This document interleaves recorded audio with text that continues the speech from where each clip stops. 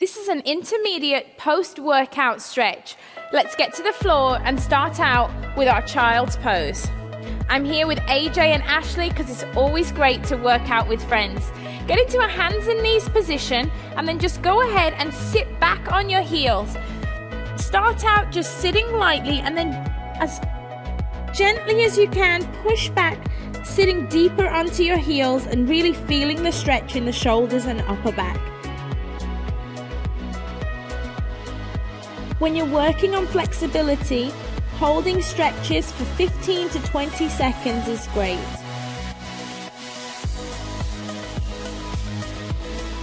Focus on your breathing, nice deep breaths. From here, let's go ahead and push up onto hands and knees position.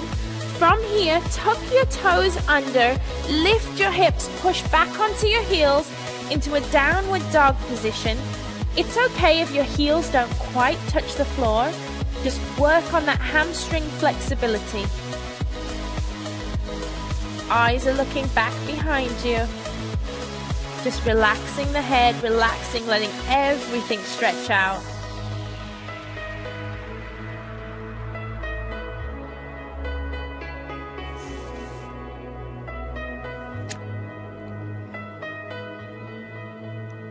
The longer you're in the pose, the more you can push back, really push back into the heels.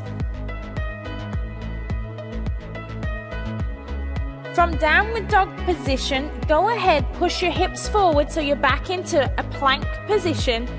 Lift up one knee and then cross it across to your opposite elbow and just hold right there.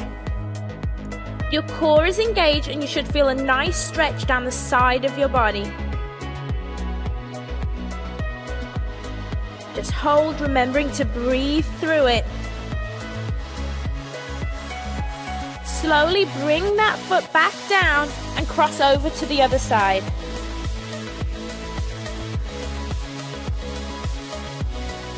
Holding that stretch.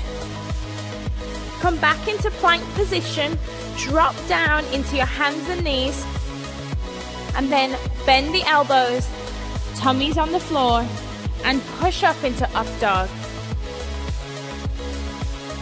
Hands are just to the outside of the chest and you should really feel this stretch in your lower back. Just holding that position. Great job. Holding two more seconds. Go ahead, bring your chest down to the floor. Place one arm out in front, rest your head down, Go ahead and bring one heel to your glute, hold onto your foot, and then just really pull and feel that stretch down the quad. This is a great stretch because you can kind of feel it in your hip flexor too.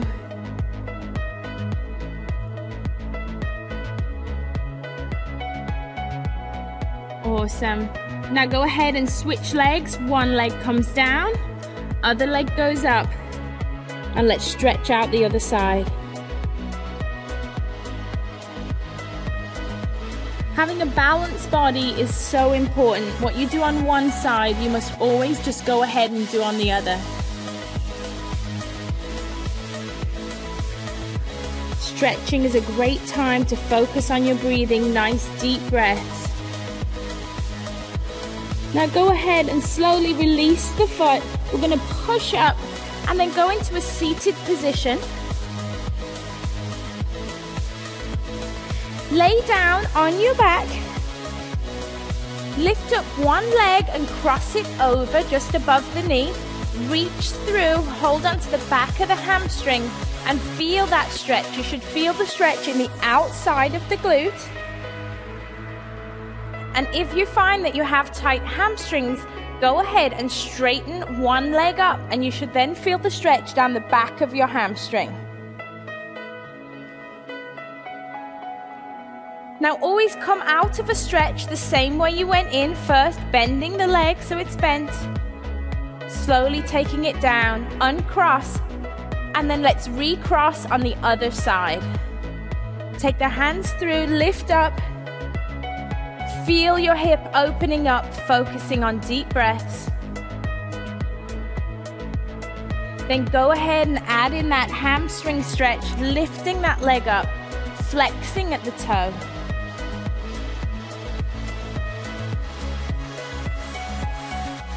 Great job.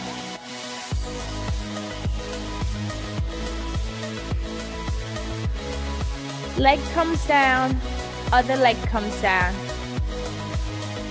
Doing a post-workout stretch is great for relieving tension in your muscles and also for relieving stress. So if any time during the day you feel stressed, go ahead and do this little workout.